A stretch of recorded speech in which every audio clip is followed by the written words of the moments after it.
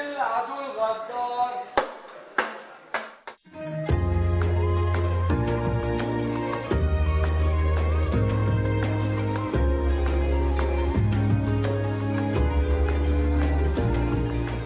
أجواء خاصة يعيشها الحلبيون في شهر رمضان. وتعطي طقوسه كالخيمة الرمضانية والمولوية والحكواتي رونقا مميزا للاحتفال به وتجعل منه شهرا محببا لدى الجميع. عم نقدم سكتش فوازير رمضان تتضمن عدة فقرات. الفقرة آه، مولوية فقرة الحكواتي آه، ال stand-up اللي هي الشخصية آه، شخصيتين بيحاكوا الواقع الحالي. هي تجربة أولى بمدينة حلب ولأول مرة بتصير. والحمد لله لقيت إقبال كتير حلو طيلة السهرات خلال الشهر الفضيل وصوتها المترافق مع ما يردده المسحر من عبارات يحملها نسيم الليل إلى آذان الناس. هي أحدى الطقوس الدائمة. بذكرنا بتراثنا بذكرنا مدينتنا القديمة بذكرنا بتاريخنا الحلو. شهر الخير شهر البركة شهر المودة.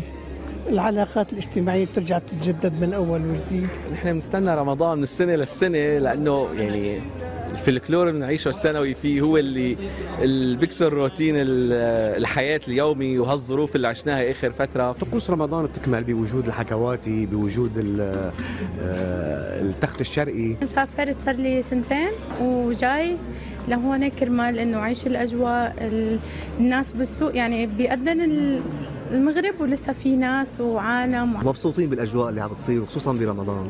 أجواء حلوة ومتميزة.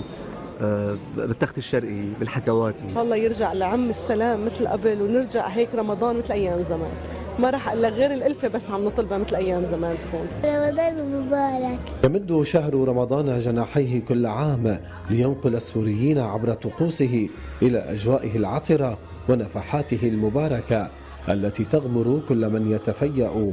ظلال هذا الشهر الكريم. طقوس تحاكي الأصالة والتاريخ لا يزال الحكواتي يقص من خلالها القصص الشعبية ليضع رواد هذا المكان بعبق الماضي. وليد هناي الإخبارية السورية حلب.